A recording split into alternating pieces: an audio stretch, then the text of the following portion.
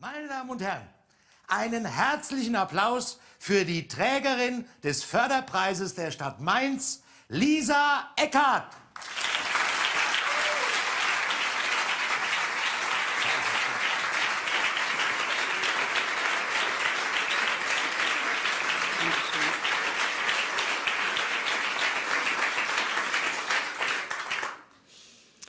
Cluedo und Geschlechtsverkehr. Zwei Dinge, die ich gern öfter betriebe, bräuchte ich dafür nicht immer zwei bis fünf Mitspieler zwischen 8 und 88 Jahren. Da gehe ich doch lieber ins Pornokino, wo Sex zu seiner wahren Bestimmung findet. Das kollektive Onanieren ist ein soziales Event mit autistischer Autarkie. Die einzige individualistische Massenbewegung. Hegel sagte dazu immer, man ist dort unter und für sich. Ja, aber das Pornokino ist ein weiteres tragisches Opfer des Internets, das uns schon sehr viel Schönes genommen hat. Allen voran den restriktiven Zugang zu Wissen, der schon durch die Alphabetisierung der Unterschicht sehr in Mitleidenschaft gezogen wurde. Hm. Und jetzt auch noch die Pornokinos, wo diese Industrie eh schon mit so vielen Vorwürfen ringt. Es heißt immer, Pornos seien monoton, frauenverachtend und unrealistisch. Okay. Wer sich gern über unrealistische Filme beschwert, spricht hoffentlich ein ernstes Wörtchen mit Alec Baldwin über das vermeintlich lautlose magnethydrodynamische Antriebssystem in Roter Oktober. Machen allerdings sehr wenig. Doch bei den Pornos wird gejammert. Immer diese makellosen Weiber mit ihren Silikonatlanten, mit ihrem Nadelöhrgeschlecht und dem so weiß gebleichten Anus, dass man beim Anblick schneeblind wird. Und erst das Gemächt des Mannes, dieser unsinkbare Schlagbaum, an dem sie einen Felgaufschwung macht. Wieso sind das nicht normal, durchschnittlich unattraktive Menschen wie du und du? die authentischen, grausligen Sex haben, der nur deswegen nicht als Vergewaltigung gilt, weil ihn beide gleichermaßen nicht wollen. Hm? Das ist schon lustig, oder? Wenn einer was tut, was der andere nicht will, ist es ein Verbrechen. Wenn zwei was tun, was sie beide nicht wollen, Demokratie. Äh, ja. Naja, aber nur wenn man guten Sex verbietet, ist ihrer darum trotzdem schlecht. Sie werden auch ohne Ideale scheitern. Sie lügen ja auch ohne die Wahrheit zu kennen. Es gibt also keine falschen Ideale. Es gibt nur das Ideal und es gibt Sie. Ob das Ideal nun schlank, fett oder dreibeinig mit 40 Verunkeln ist, die Konstante daran bleibt, Sie selbst werden es niemals sein. Ist Ihnen das nicht Trost genug? Aber gut, nein, nein, nein, Sie haben natürlich recht. Verbieten wir die Pornos. Und die Kochsendungen. Weil die liefern ein unrealistisches Bild meines tatsächlichen Kochens. Ein Soufflé dauert bei denen immer 15 Minuten. Bei mir hingegen natürlich fünf Stunden, weil ich in meinem Herrenhaus die Küche schon mal gar nicht finde. Ja. Ich orientiere mich dann meistens an der Hautfarbe der Bediensteten. Die wird nämlich wieder heller, je näher man der Küche kommt. Ja, weil beim Essen, da soll man nicht sparen. Ein Big Black Cock, das ist die beliebteste Pornokategorie.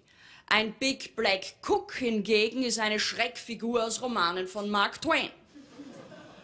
Doch selbst wenn ich die Küche finde, geht der Irrsinn ja erst los. Weil ich nach dem Hantieren mit einer Raspel immer so aussehe, als hätte ich Stigmata und weil ich, die ich imstande bin, Ehegatten voneinander, Geistliche vom Zölibat und jeden Mann in der Familie von seiner Inzestangst zu trennen, es nicht schaffe, Dotter und Eiweiß zu entzweien. Und das deprimiert mich dann, wenn ich sehe, wie im Fernsehen alles flutscht. Da gibt's kein ungeschicktes Vorspiel. Da ist alles vorgeheizt und ausgebuttert wie Maria Schneider. Ja? Nichts fällt zusammen, nichts rennt aus, nichts reißt ein. All diese hochkomplexen Vorgänge, die kein normaler Mensch beherrscht, die forcieren den Truthahn von vorn und von hinten in einer Double Penetration. Fistet Johann Lafer dieses Viech. Dann greift er zu den Bondage-Seilen und schnürt die Rouladen so pervers, dass es aus allen Nähten saftelt. Dann schiebt er den Braten bis zum Anschlag in den Ofen, dieses glühend heiße Glory Hole, worauf, was ihn erst richtig geil macht, macht. Er immer wieder raus, holt rein, schiebt raus, holt rein, schiebt und mit dem eigenen Saft übergießt. Und, und ja, und, ja, warum, warum nicht? Sie haben es probiert, gell? Sie haben es probiert. Und unentwegt dieses Gestöhne, was man nicht sieht, weil es sind ja immer nur Nahaufnahmen, Nahaufnahmen auf die Hände, wie sie den Teig penetrieren. Alles ist so kalt. Ich sehe nicht die Gesichter der Köche. Ich sehe nicht deren Emotionen beim Kochen. Und überhaupt, es gibt keine Vorgeschichte. Die kommen in diese Studie und legen sofort los. Ich weiß ja nicht mal, wieso kochen die jetzt? Wollen die das überhaupt? Oder werden die dazu gezwungen? So eine Art Snuff-Cooking. Ja? Und überhaupt, so ein Fernsehkoch, kann der bei sich privat überhaupt noch normal kochen? Oder ist der bei sich in der Küche völlig frigid? Ja? Und wie geht's da der Partnerin, wenn der eigene Ehemann jeden Tag für andere kocht, für ein Millionenpublikum? Graust's einem da nicht vor diesen verbrauchten, ausgeleierten Händen? Und überhaupt werden in diesen Kochsendungen immer nur die traditionalistischen Geschmäcker bedient. Immer diese Heteronormativität aus süß und salzig. Wieso kocht niemand mit Asbest? Es gibt sicher einen Menschen da draußen, der gerne Asbest isst. Wo sind die Kochsendungen für den? Aber eines muss man ihnen zugutehalten im Vergleich zu Pornos. Kochsendungen würdigen Frauen nicht herab. Weil die kommen zum Glück ja gar nicht vor. ja, ganz anders als im Kabarett. Allein heute Abend. Unglaublich, oder? Zwei Frauen als Preisträger. Das ist natürlich sehr perfid, weil die Simone Solga und ich uns jetzt unentwegt fragen, tja, Wer ist jetzt die Quotenfrau? Und wer macht gutes Kabarett? Aber es ist schon unglaublich. Das ist jetzt mein vierter Förderpreis. Und ich muss ganz ehrlich sagen, ich habe es satt. Ein Förderpreis. Dieser rostige Katheter, der mir in die voll funktionstüchtige Blase gerammt wird, um daraus Dank zu destillieren damit man eins sagen kann, stolz wie Paul von Hindenburg, wir haben es von Anfang an erkannt, unterstützt und dann verleugnet. Ja, weil das schwöre ich Ihnen, jetzt fördern Sie mich. Und in 10 bis 20 Jahren will es dann wieder keiner gewesen sein. Die einzig sinnvolle Förderung, die ich auf meinem Werdegang erhielt, das war das Pressen meiner Mutter. Ohne das wäre ich wohl nicht so weit gekommen. Doch was Sie hier anzustoßen wünschen, ist eine längst losgetretene Lawine, die wird auch Ihre Förderung nicht verhindern. Ich nehme den Preis natürlich an, nicht, dass wir uns da falsch verstehen. ja. Sie haben ihn mir ja zugedacht, da ist der Schaden schon passiert.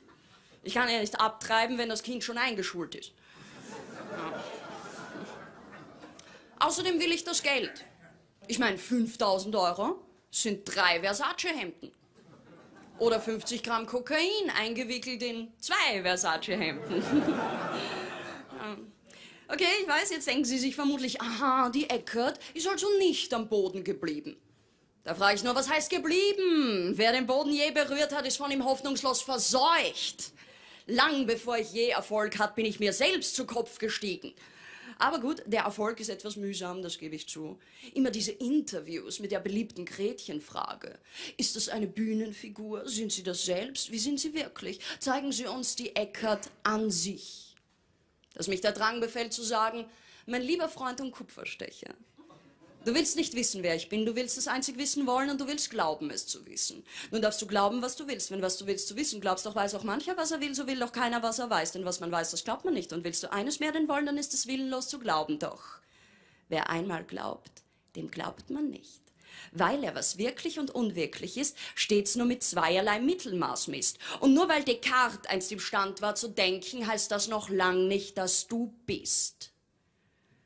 Aber das wäre unhöflich, gell? Drum, ja, drum bleibe ich ruhig und denke mir, what would Jesus do? Und wir alle wissen, er hätte eine Peitsche genommen und sie ihm in die Fresse gehauen. Das hätte er gemacht. Besten Dank.